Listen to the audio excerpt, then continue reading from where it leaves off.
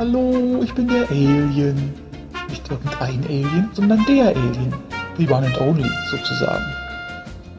Sicherlich habt ihr euch schon gefragt, wie ein so toller und teuflisch gut aussehender Typ wie ich ausgerechnet auf eurem langweiligen Planeten landen konnte. Und jetzt auch noch hier. Noch dazu ganz alleine. Das sind gute Fragen, doch dazu später mehr.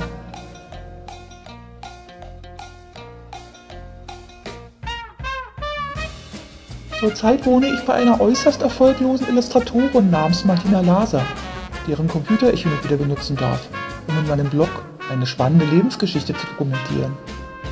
Denn wie jeder echte Hipster habe ich natürlich einen eigenen Blog, weil mein Leben so interessant ist. Und nun bin ich hier, um euch, werte Besucher dieses schönen Ortes, meinen Blog martinchen3000.wordpress.com vorzustellen. Denn dazu ist so ein Blog ja schließlich da. Dann fangen wir mal an.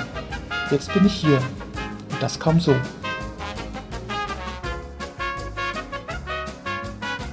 Früher habe ich mich nie einsam gefühlt. Und zwar wirklich nie. Bei uns zu Hause war immer was los. Es war nämlich so voll, dass man buchstäblich noch nicht mal alleine Schei auf die Toilette gehen konnte. Bei einer Einwohnerdichte von 17,85 Kopf pro Quadratmeter, und zwar auf dem gesamten Planeten, ist das auch nicht weiter verwunderlich. Ja, ich gebe es ja zu, von Verhütung hatten wir bei uns nicht wirklich eine Ahnung. Aber bei einer durchschnittlichen Wurfgröße von 14,5 Kindern alle 18 Monate ist es auch wirklich schwierig, da den Überblick zu behalten.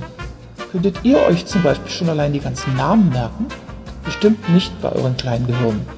Doch ich schweife ab.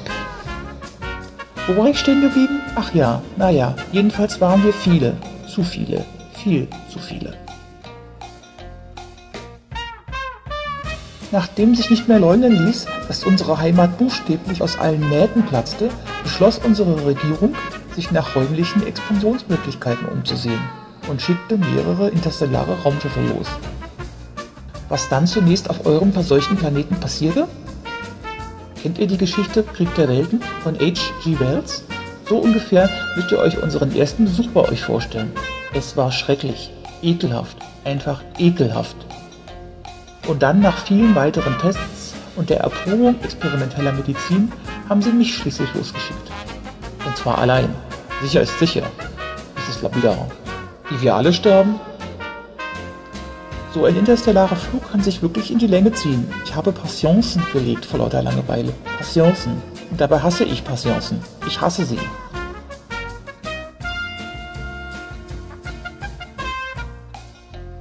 Und dann kam ich hier an und es war sogar noch langweiliger als auf meinem Raumschiff. Entsetzlich. Nun war ich also auf der Erde und dort war ich zunächst nicht sehr willkommen. Und das trotz meiner offenkundigen Genialität. Glaubt ihr allen Ernstes, ihr seid die einzigen Intelligenten? Haha, dass ich nicht lache. Lebewesen im Universum? Naja, zugegeben, aufgrund unserer Invasionspläne müsst ihr uns natürlich nicht mit offenen Armen willkommen heißen. Aber ein bisschen mehr Respekt wäre schon wünschenswert gewesen denn was als nächstes passierte, war alles andere als erfreulich. Leider verlief meine Landung damals ein ganz klein wenig äh, holprig, was zur Folge hatte, dass man meinen äh, Absturz bemerkte und mich, da ich dabei bedauerlicherweise ohnmächtig geworden war, einfach gefangen nahm. Das war übrigens in der Nähe von Roswell, diesem komischen kleinen Nest in New Mexico. Natürlich musste man der einfältigen Bevölkerung das Erscheinen meines schnittigen Raumschiffs erklären und erfand kurzerhand die allseits bekannte Geschichte vom verirrten Wetterballon. Pah, einem Wetterballon. Ich war also tatsächlich in Gefangenschaft. Somit war es also wieder fast genauso langweilig wie auf meinem langweiligen Raumschiff. Nur dass das Essen entschieden besser war. Ich entdeckte ein wirklich schmackhaftes Gericht namens Pizza. Lecker sehr lecker. Leider bekomme ich davon immer diese lästigen Blähungen. Die Militärärzte, die mich untersuchen mussten, waren schon ganz verzweifelt wegen des giftigen Gestanks. Moment mal, wie war das? Giftiger Gestank? Da bot sich mir doch tatsächlich eine Fluchtmöglichkeit. Scheinheilig betonte ich meinen Peinigern gegenüber nochmals die absolute Genialität dieser Delikatesse namens Pizza und bat sie um mehr davon. Viel mehr. Und diese unterbelichteten Vollidioten merkten natürlich nichts von meinen perfiden Plänen und telefonierten sogleich nach dem Koch.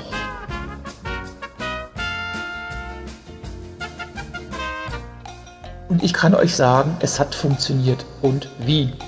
Nachdem ich innerhalb kürzester Zeit 15 von diesen äußerst leckeren Pizzen verspeist hatte, die Ärzte in der Militärbasis scherzten noch, ich sei wohl innen größer als außen, wenn die wüssten, wie recht sie damit hatten, setzten schon bald die diesmal so erwünschten Blähungen ein. Einer nach dem anderen wurden die Leute um mich herum ohnmächtig und fielen um wie die Fliegen. Der Rest gestaltete sich als ein Kinderspiel.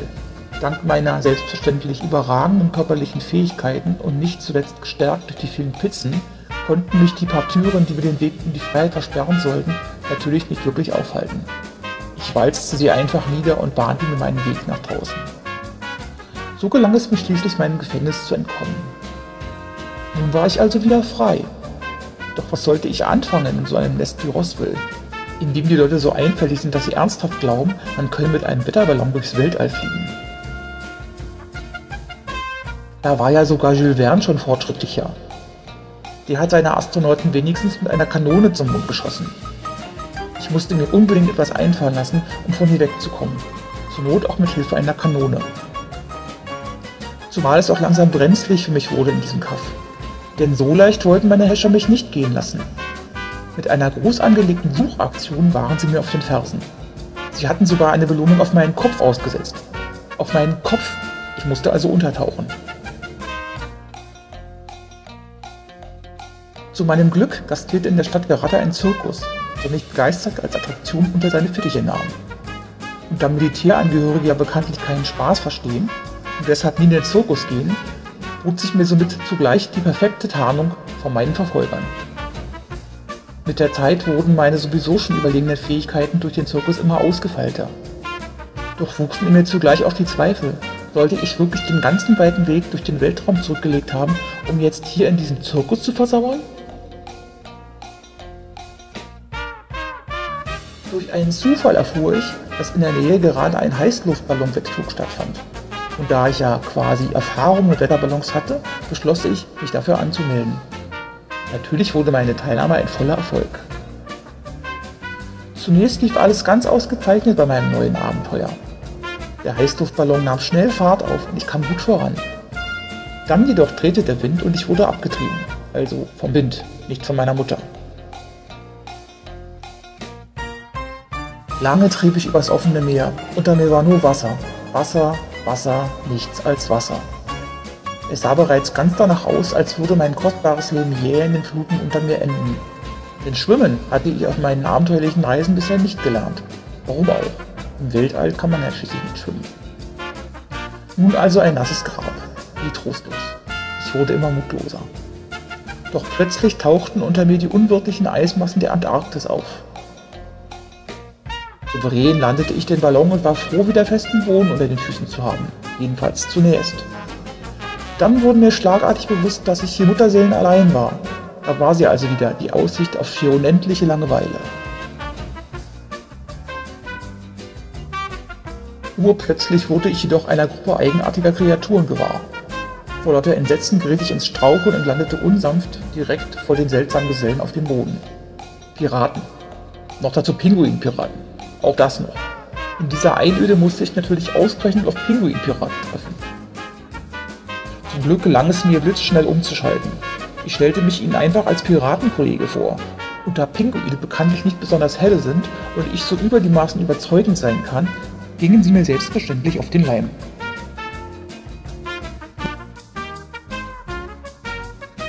Schnell vertrauten mir die Piratenpinguine so sehr, dass sie mich ihrem Anführer, Captain Blackbeard, vorstellten. Natürlich schloss auch dieser mich sogleich in sein Herz, was sich jedoch noch als ein großer Fehler für ihn herausstellen sollte. Denn dank meiner guten Beziehungen zu den Pinguinen gelang es mir binnen kurzem, eine Revolte anzuzetteln, die mich umgehend selbst an die Spitze der Piratengruppe katapultierte. Nun war ich also zum Piratenkapitän geworden. Wer hätte das gedacht? Schon bald stachen wir in See. Das Leben an Bord gestaltete sich herrlich für mich. Schließlich war ich ja auch der Kapitän. Das Essen war gut und reichlich. Vielleicht etwas zu wenig Gemüse. Die Pinguine bekamen schon langsam alles Skorbut. Aber mich störte das nicht. Bis ich bemerkte, dass ich bedauerlicherweise sehr schnell seekrank werde.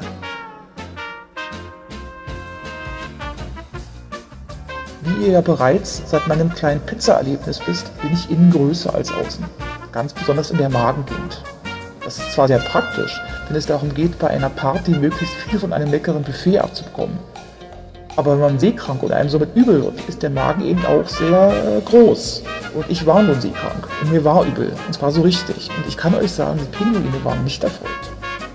So dermaßen wie damals auf hoher See hatte mein übergroßer Magen noch nie rebelliert. Noch nicht mal auf meinem transgalaktischen Flug, wo der Weltraum ja bekanntlich den meisten Lebewesen auf den Magen schlägt. Und nun hing ich also hier wie ein Häufchen Elend über meinem Eimer und begegnete den längst verdaut geglaubten Mahlzeiten der letzten zwei Monate. Die Piratenpinguine schüttelten nur angewidert die Köpfe und meinten, so etwas wie mich hätten sie noch nicht gesehen, was ja auch stimmte. Und auch als Kapitän wäre ich mehr als ungeeignet, was meiner Meinung nach natürlich überhaupt nicht stimmte. Und so schmissen sie mich mitsamt meinem Eimer einfach über Bord. Lange trieb ich mit meinem Eimer, an dem ich mich verzweifelt klammerte, über das offene Meer. Wenigstens wurde es langsam wieder etwas wärmer. Dennoch schien meine Lage mehr als aussichtslos. Doch als ich schon beinahe alle Hoffnungen aufgegeben hatte, wendete sich schließlich doch noch alles zum Guten. Zunächst war ich ganz euphorisch, endlich wieder Festland unter den Füßen zu haben. Doch dann realisierte ich, dass ich auf einer einsamen Insel gelandet war. Und zwar auf einer wirklich einsamen. Kein McDonalds, kein Handyempfang, kein gar nichts. Und das, obwohl ich nach der ganzen äh, Kotzerei langsam wieder Hunger bekam. Es war grässlich, es war brutal, es war entsetzlich. Ich war gefangen in dieser Einöde und bekam das Gefühl, das einzige lebende Wesen auf dem Planeten zu sein. Nur noch entfernt konnte ich mich daran erinnern, wie es war, mit anderen zusammen zu sein, geschweige denn mit ihnen zu reden. Ich begann bereits, Selbstgespräche zu führen, nur um überhaupt mal wieder eine Stimme zu hören. Und dieser Hunger. Was hätte ich angefangen, an mir selbst zu knabbern? So hungrig war ich. Und dabei war ich erst seit fünf Minuten hier auf dieser einsamen Insel. Und meine Situation wurde nicht besser. Auch nach weiteren zehn Minuten befand ich mich noch völlig allein und ausgehungert auf dieser von allen guten Geistern verlassenen Insel. Zum Glück verfügt mein Organismus über ein sehr nützliches Instrument, das ich jetzt zur Anwendung bringen konnte. Ja, ich habe immer noch ein weiteres Ass im Ärmel.